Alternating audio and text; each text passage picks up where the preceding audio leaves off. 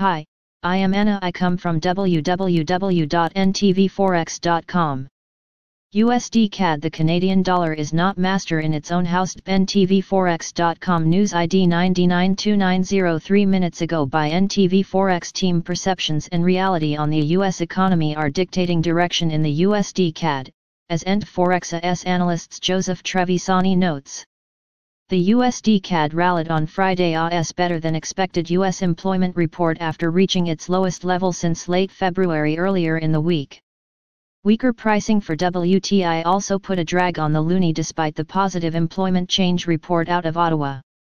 NBSP key quotes A Despite the improving North American and global economic picture West Texas Intermediate WTI is stalled below the $42 resistance line which had marked the pricing bottom for four years it will be difficult for the Canadian dollar to strengthen until this major component of its economy is again profitable. AA The current but perhaps waning scenario has the U.S. recovery in serious straits from the second wave of the coronavirus.